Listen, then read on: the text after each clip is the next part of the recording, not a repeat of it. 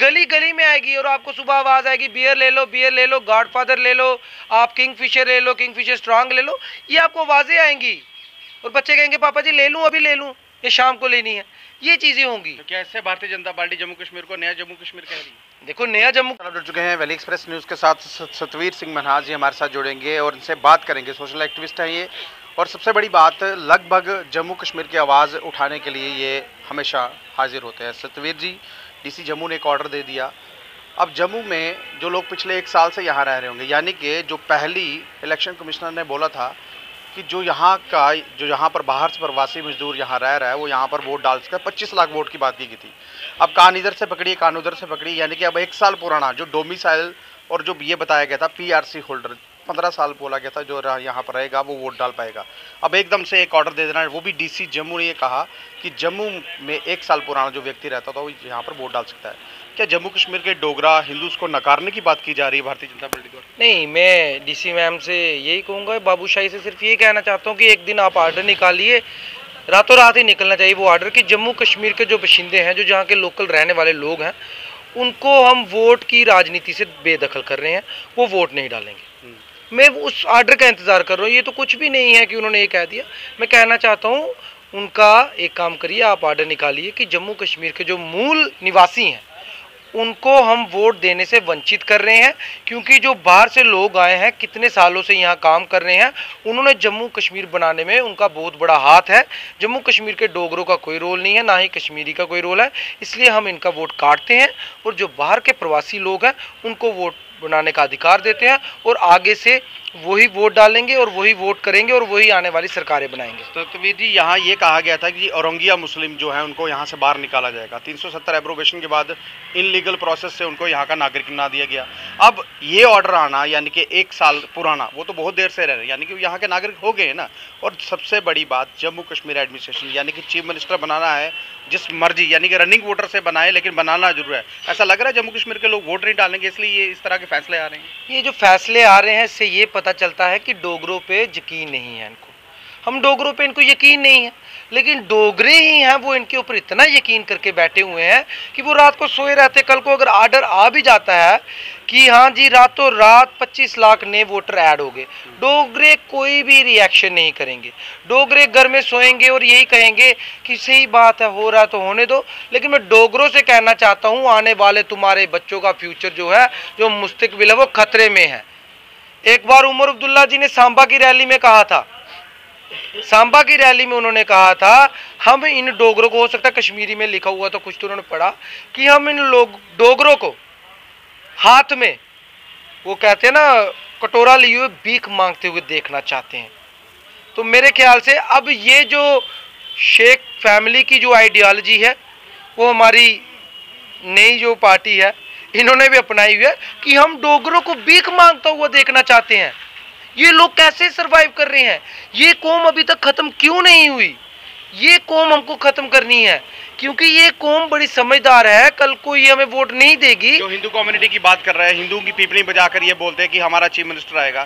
क्या जिस तरह से आपने कहा कि शेख अब्दुल्ला या उमर अब्दुल्ला की बात कीजिए, सत्ताईस साल लगभग उन्होंने यहाँ पर राज किया है। लेकिन इस तरह की आइडियोलॉजी देखने को नहीं मिली। भारतीय जनता पार्टी सेंटर में भी है और यहाँ पर भी है जो हिंदुओं की बात करती है। क्या जम्मू कश्मीर के लोग हिंदू नहीं है? जम्मू कश्मीर के लोग डोगरे नहीं शायद मेरे ख्याल से हमें हिंदू नहीं माना जाता।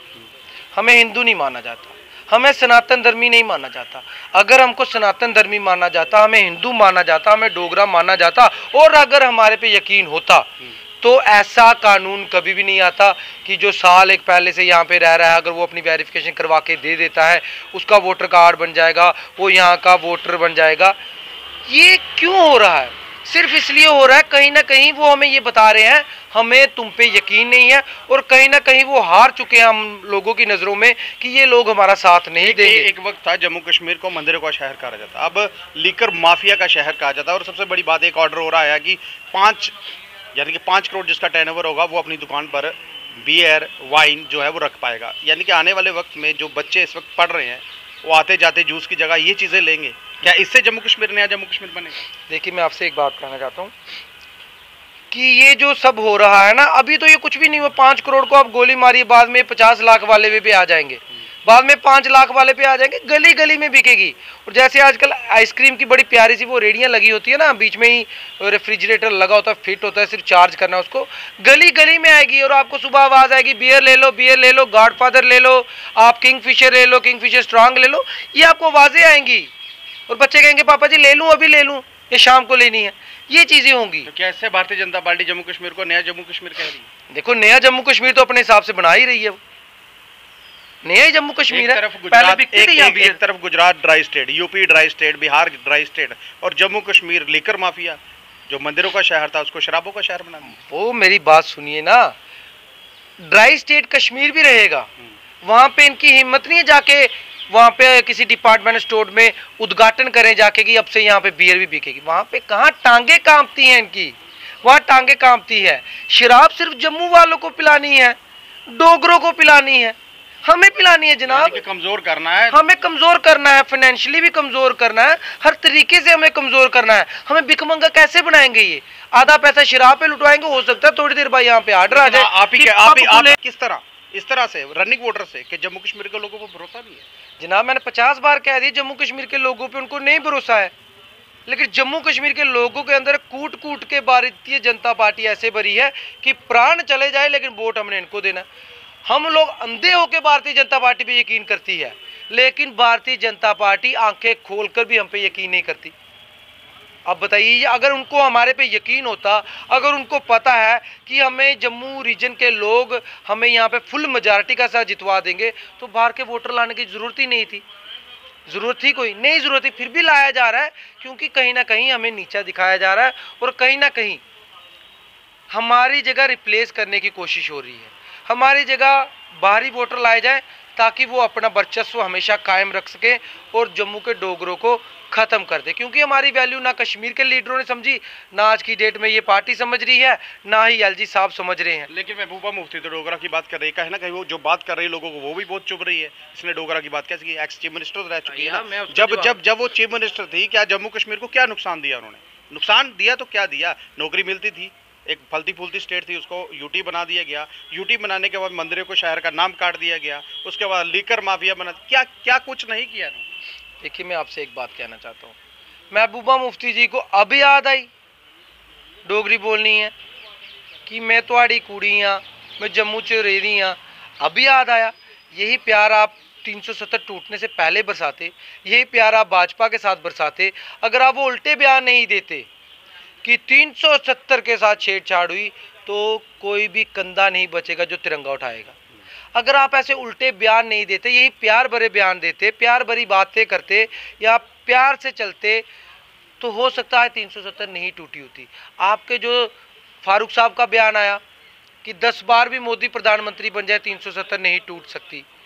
ऐसे उल्टे बयानों ने ही 370 को तुड़वाया है। अगर इनकी एक जो आइडिया ऑफ़ अलायंस बना था, जो इनका अलायंस बना था। अगर उसी रास्ते पे रहते, किसी एक दूसरे को नहीं छेड़ते, नहीं टोकते तो मेरे ख्याल से आज तीन सौ सत्तर नहीं टूटी होती, और जिन बातों पे आज हम लड़ रहे हैं, वो बातें नहीं होती। लेकिन कहीं ना कहीं अगर तीन सौ सत्तर टूटी है, सबसे बड़ा कारण ये कश्मीर के लीडर हैं, और इनके बड़बोले बयान। इनके बड़े बोले बयानों की बजाय आज तीन सौ सत्तर टूटी है। अगर डोगरा समाज पिस रहा है कश्मीरी लोग आम जनता पिस रही है, सिर्फ़ और सिर्फ़ उनके बयानों से। आज उनको जम्मू याद आ रहा है, सबको याद आ रहा है। अगर यही चीज़ें उनको पहले याद आ जाती तो शायद आज जो हम रोने वाली स्थिति में है, जो हम ख़त्म होने वाली स्थिति में है, नहीं होते।